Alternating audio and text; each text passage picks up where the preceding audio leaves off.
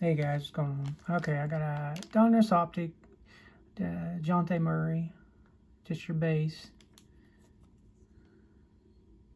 Number 173.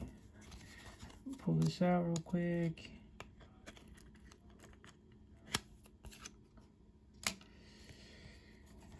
Check condition.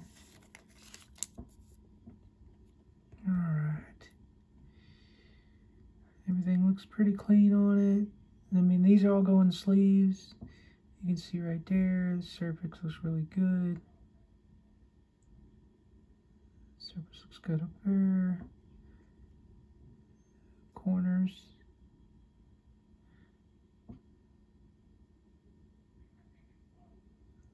Maybe slight whitening on that corner. It's hard to tell.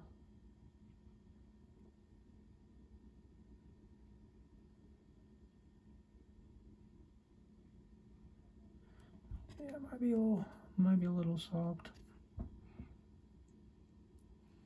It's clean on this side, so.